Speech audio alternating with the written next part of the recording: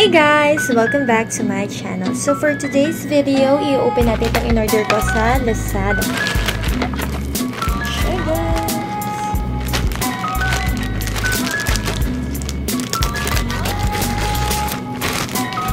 This, oh, may pa-freebie pa pala sila. Ano sabi mo, may pa-freebie? Okay, ang laki! Natuwa ako. Ay, hindi ko in-expect yan to siya kalaki. Kasi guys, si Careline, naglabas din siya na ng skincare niya. Actually, gusto ko i-try yung set, pero parang ang liit sa picture. Ewan ko, parang feeling ko maliit lang. So, anyway, nag-order na lang ako ng micellar water nila. Kasi alam niyo, fan na fan ako ng mga micellar water, di ba? Um, na-try ko na yung sa Garnier. And then, yung Pond's, the vitamin micellar water, may separate video din ako. Ilalagay ko sa description box below. Pati na rin dito, maglalagay na lang ako ng card dito sa taas ng uh, link ng video na yun. So, nung nalaman ko magkakaroon nga si Caroline ng uh, skincare, so tinignan ko yung mga iba't iba. So, aside dun sa set nila, ito yung set nila.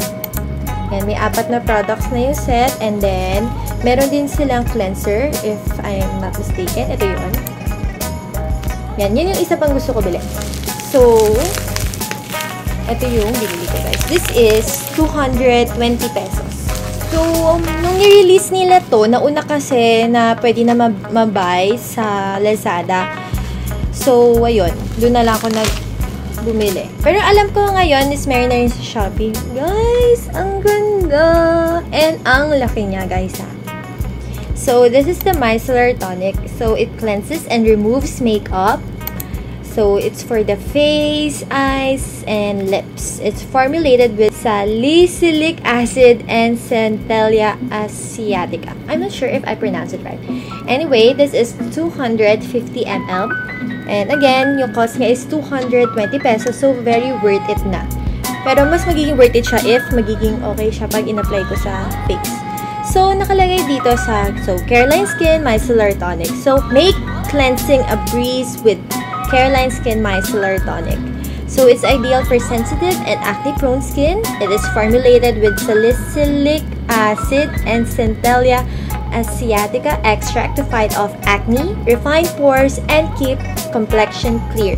It also removes makeup residue, accessible impurities from your skin, leaving it feeling fresh and smooth. So, how to use, nakalagay na rin siya dito, is, the usual naman, maglalagay ka sa cotton pad mo, or cotton ball, and then swipe natin gently sa face. So, ano pa ba yung mga nakalagay dito? Yun, nandito sa ilalim yung uh, manufacturing date, February 2021. And, nung nag-order ako sa Lazada, guys, nagbigay na rin sila ng freebie. So, tingnan natin yung freebie na binigay nila. So, itong freebie nila is the EB Cosmetics Korea Instant Whitening Cream. Ah, so it uh, helps lighten skin tone while keeping it soft, smooth, and moisturized. So anyway, back dito. Um, sa mga skincare products kasi, ang gusto ko talaga is meron nga nung salicylic acid, tea tree oil, pati yung glycerin. So, nakita ko doon sa mga post nila, yun yung meron dito. Kasi, yung tea tree oil removes skin impurities. Actually, bumibili ako, bumili dati ako ng tea tree oil sa The Face Shop. Maganda siya para sa mga yung nakalimutan ko yung tamang term pero yung ilalagay mo lang mismo yung uh, product sa mga tuldok-tuldok lang na kung saan man may uh, tigyawat ka may gusto kang i- i-target. Hindi siya yung pang full face uh, na skincare kasi uh, matapang siya guys matapang yung gamit ko na yun pero maganda kasi nakaka-dry talaga siya ng, ng mga pimples and nakaka-remove ng pimple marks. So, next din is yung salicylic acid. It, defend, it is a defense against blackheads, whiteheads, and acne. So, hindi lang halata, pero ang dami ko talagang blackheads. As in, lalo na dito, dyan, tsaka dyan.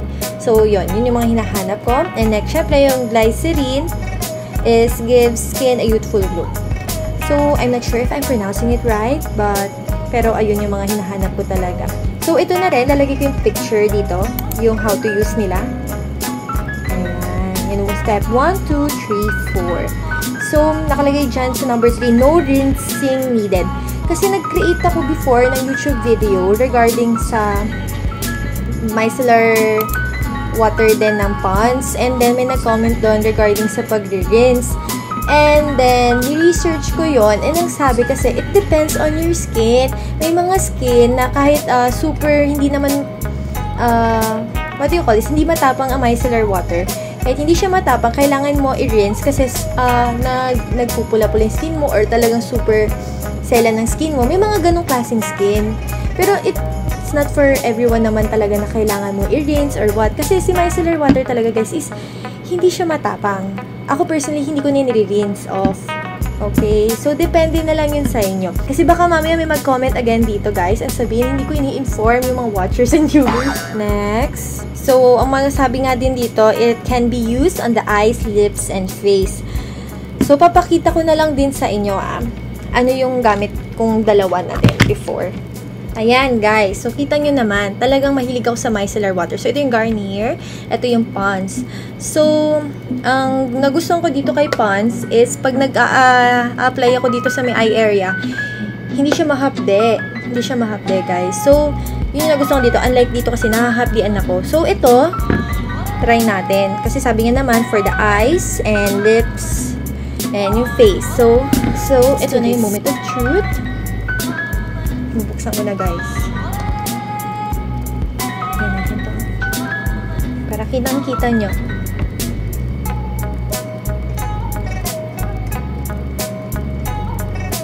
Ay, walang tumutulo. Oh my god, sealed pa pala ata to sa loob. Kasi walang tumutulo. Ay, ang bongga. Wait lang, ang fail. Pero natuwa ako dun ah. Ay, maganda siya guys. Kasi unlike dito sa mga nabili kong to, naka-open na to kagad. Ito, pag dumating sa inyo, mm, Mm. Nakasil pa. Kaya kumpletong kumpleto yan na 250 ml na dadating sa inyo. Okay. So, i-open na natin. Mm, perfect. I commend them for doing that. So, ito na talaga. Legit na, guys.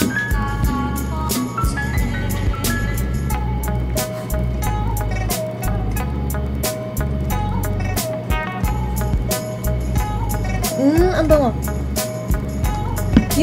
Niya is not like those na nagamit ko na. Miss, gusto ko yung amoy nito. Mas parang refreshing. Refreshing. So, kahit bagong ligo ka talaga at kahit nagsabon ka na everyday, may natitira pa rin kaunti. So, kailangan magaganto ka pa para talagang maka-help ma-cleanse yung face mo. And, ayan na, nag-apply na ako sa may eye area ko. And wala akong naramdaman na kahit konting hapdi. So, this is really perfect. So, ito yung first impression ko.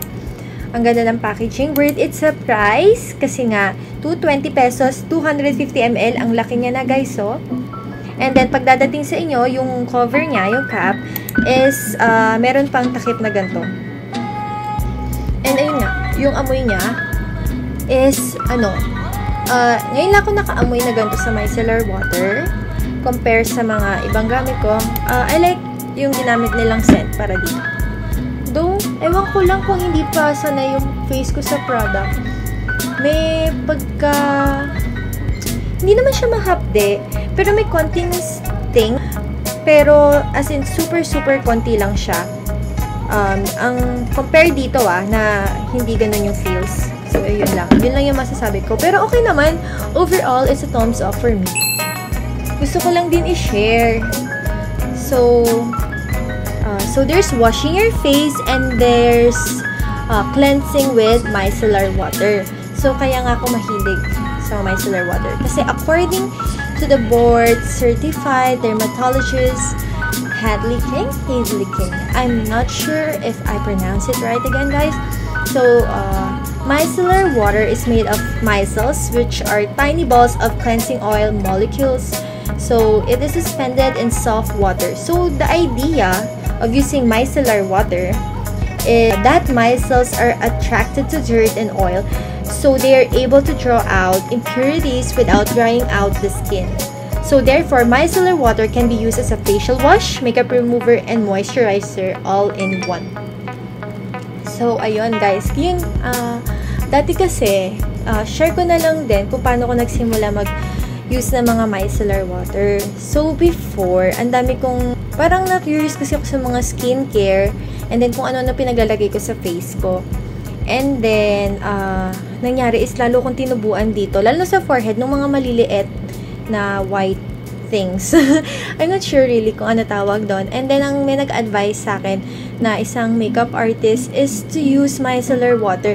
Kunyari, uh, mag, nag-soap na ako, nag, uh, nag makeup remover na ako, ganyan, magamit pa rin din talaga ako ng micellar water. Kasi nga, mas nakaka-help malinis lalo yung face nyo. So, ayun. And, ayun, parang wag kang masyado maraming lagay na lagay. Kaya nag-makeup na ako, diba? Tapos mag-alisin ko soap, makeup remover, huwag na yung kung ano nung chenelin pa. If okay naman yung face mo and wala naman kailangan talagang ibonggang-bongga na na i-target na kung ano man. So, ayun, micellar water talaga. Pang-maintain na rin ng face, oo, pwede, ba diba? So, ayun. So, ayun lang naman, guys. This is my video about the Careline So, this is a new product by Careline. So, naglabas na sila ng kanilang uh, Careline Skincare line. anyway, so ayan guys. If you like this video, please hit the thumbs up button. And if hindi ka, kung hindi ka pa nakasubscribe sa channel ko, please click the subscribe button. And please click also the notification bell to be updated for more future videos. Thanks for watching guys!